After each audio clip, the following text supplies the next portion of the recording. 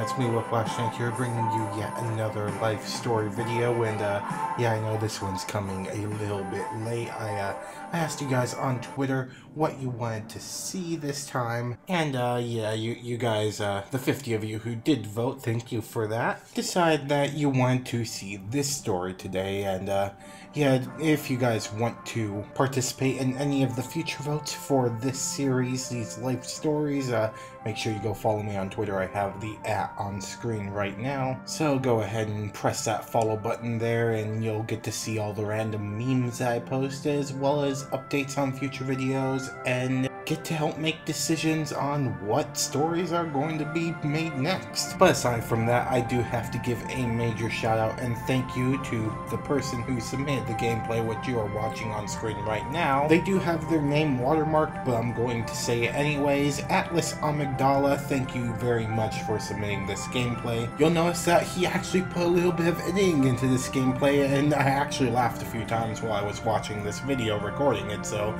definitely go check him out after this. It's a pretty good Let's Play. But anyways, guys, with that being said, let's just get right into the story. And th this one's a pretty interesting one. It actually happened uh, last year, 2016. Happy New Year's, everyone, by the way. Hopefully you are not extremely hungover. If you are, oh, I'm sorry, just pray to the porcelain god and hope everything gets better. Nah, I, I, do hope that you guys had a good one. I myself spent the entire New Year's at my grandparents' house downing an entire bottle of wine. It was fucking great. I made sure to disappoint them plenty. But yeah, make sure you comment down below what you guys did for New Year's, and I'll make sure to read them and reply to a few of them. But yes, uh, enough stalling, let's just get into what you're here for, the story about my wisdom teeth being removed. Now for those of you in your teens that are getting ready to have this operation done yourself, getting your wisdom teeth removed, uh, it, it can be a little bit scary because, you know, you're, you're being knocked out. It's actually a surgery kind of thing and uh, it's kind of stressful, so I hope that this story uh, helps relax you a tiny bit when you're going in for this, because I'm just gonna tell you now, I was a complete and utter train wreck. So it started off in the morning, I had like just woken up before the appointment started, you know. They didn't want you eating or drinking anything before because, you know, they're gonna knock you out. They don't want you accidentally throwing up during the operation and completely drowning yourself. It, it's probably pretty gross. Don't. It's not. It's not a good thing. You don't want that to happen. And so, you know, I had just woken up and I was just trying to get mentally prepared for it. Like, alright, I just had a good night's sleep. Time to go get knocked out and sleep some more. So we go up to the doctor's office. You know, I had to have my grandparents drive me. Yes, uh, they were with me on this endeavor. You are actually not allowed to drive yourself after this operation is done because, you know, you're just uh, you're just getting off of all the anesthesia and everything. Uh, if you tried to drive, you'd probably be driving the equivalent of a drunk person with a blood alcohol content of about 9.0. I'm sure you've seen all the loopy videos of people that just got their wisdom teeth removed and they're crying and just like, uh, just, you know, acting completely crazy. That, that That's pretty much what you're supposed to be like. After you get the wisdom teeth done, everyone reacts to it differently. Uh, I reacted to it kind of in a strange way, you'll see in a bit. But for most people, including my sister who had done this operation before I even did, uh, they, they, all react in the uh, same completely out of it, you know, drunk sort of way. So we get to the doctor's office, you know, they take me back and they bring me into the room and, you know, the anesthesiologist is there and they're like talking to me like, okay, so we're gonna need to uh, inject this and like we're going to uh, knock you out and we're just gonna start, okay? And you know, I'm not really that much of a fan of needles. Like, even when I go to the doctor for a cavity filling, I don't get the shot in the cheek because, you know, I just don't like it very much. And, you know, I, I go through the entire operation without any painkillers because, uh, needles. And so, you know, they pull out the needle, I kind of look at it and I'm like, is there any other way, like, it can be done? Like, knock me out some other way, you know, deck me over the head real quick? And, you know, they're like, uh, well, we have, uh, pill. We have like another injection we could do. Uh, I'm like, mm, well, this is a dentist office. You guys have laughing gas, right? And they say yeah, and they put it on, and you know, uh, they're starting to like make me numb, go to sleep, and everything like that. Though me being freaked out and being a bad patient, I kind of took off the nose piece that they had the laughing gas going on to and I'm just like, uh, no, I don't like the feel of this, I don't know what I'm gonna do. And so we waited a few moments. Meanwhile, all the doctors in the room are getting more and more pissed off. I do not blame them. And you know, we give the laughing gas one more try. They put it back on, and you know, I'm just sitting there breathing in, just, you know, waiting, letting the tingling go through the entire body, you know, how it does. You know how laughing gas is supposed to be, you know, make you loopy, supposed to, like, relieve the pain for kids when they're going to the dentist. I'm pretty sure they gave me a horse tranquilizer dose of that stuff because, well, it, it kind of worked very quickly the second time, you know, start going through, and within, like, 30 seconds, they're like, Alright, so, so you feel anything? You feel okay? And I'm just like, yeah, one second. I'm just like holding up one finger, just like, wait, wait.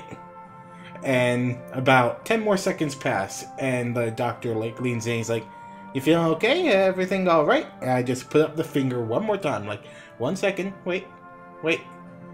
And I'm pretty sure the way it happened, or at least looked like, because I was sitting up at the time, and just one second I was there, the next I was completely out. Okay, eyes rolling back, you know, falling back into the chair. They all rush in at once, you know, put the band around my arm, put in the anesthetic, and I'm completely out for the entire rest of the treatment. And you know, that they did everything completely right, everything went out as it was supposed to. They did a good job with the operation, and like the second they woke me up, I, I just sat up and they're like, oh no, no, no, you're not supposed to do that. Sit back down. This way is not good. Because, you know, as a lot of people are, after they get off of that anesthetic, they're loopy probably for a few hours afterward. And well, uh, they, they don't want to be responsible if the person stands up and immediately does a faceplant. And to give you guys an example of how fine that I was as soon as I woke up. Like, the second I woke up,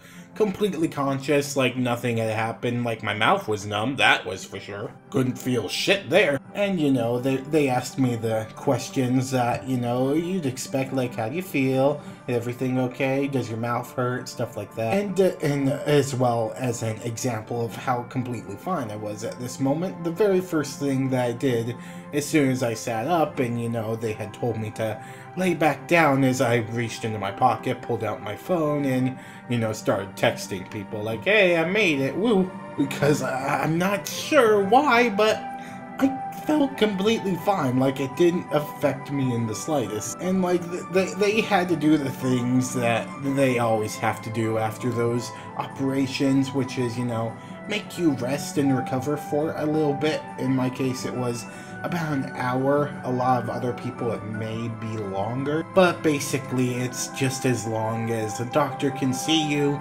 Make sure that you're not going to immediately murder yourself the second you walk out the door. And, you know, make sure most of the loopiness itself is out of the way. And the way they did that with me, they took me to, like, this resting room, you know, sat me back, gave me an iPad, and the person, they're like, they're probably used to dealing with people that were extremely out of it. Again, like I'm saying, people that just are like, where'd my teeth go? Where am I? Jesus! And the person just, you, you, they bring out the iPad and they're like, alright, so we have Netflix on here. We, what would you like to watch? We have this show. We have the, we have this show. And you know, I'm just kind of looking at um again, I'm completely fine at this point. I'm just like just give me the iPad, I'll pick something. And I think the woman knew that I was completely fine because I had walked myself there by myself. Like, they're supposed to, like, hold you to make sure you don't collapse on the way there, no, I just walked over to it. And she's just like, ah, oh, cool, whatever, and just gives me the iPad, and you know, I just chill out and watch some Family Guy for about an hour until they're like, okay, well, we don't need to keep you really anymore. Our legal liability is up, so get the fuck out. And you know, afterwards, I just walked out, saw my grandparents, you know, they're like, oh, hey, what's up? You know, phone's already out recording, hoping that I was uh, completely zoned out, completely drunk off my ass, but they didn't get such luck with me as they did with my sister. And yeah, we ended up going home. Everything was completely fine from there. I mean, I was worried for a moment because one part of my face did not go unnumb after a while. I was worried they damaged a nerve and I was going to be numb forever there, but no, it was good. They got it and everything was good. Just uh, make sure if you are going to get this operation done that you do keep on the painkillers because once that initial numbness wears off, uh, yeah, you're, you're in for a very, very nice treat. Uh, make sure that you are completely high on your painkillers, just gonna say that. Not saying do drugs, because if I say that, then YouTube will slap me, but, I mean, if you're gonna be doing that type of stuff, getting your wisdom teeth pulled out, they're, they're gonna give you painkillers anyway. You might, might as well take those, I'm just gonna say that. Moral of the story, drugs are bad unless they're good. Anyways, guys, thank you all so much for watching this video. If you liked it, or you know, are about to go through this type of thing yourself, make sure to leave a like on this video, and if you really liked it, hit that subscribe button, I would love a new addition to the Snake Army. Be sure to check out the last video, which is playing on screen right now. It was actually kind of an update video, as well as a look back to my channel's origins of being a YouTube gamer, yes. Back when I would sit down at my computer, not edit my shit at all, just up upload raw video files. Long story short, they embarrass me plenty now, so go ahead and watch it. Also, if you haven't yet, make sure and go check out Lord Bung because he needs the love. But with that being said, guys, I will see you on the next video tomorrow as always. Whiplash signing out.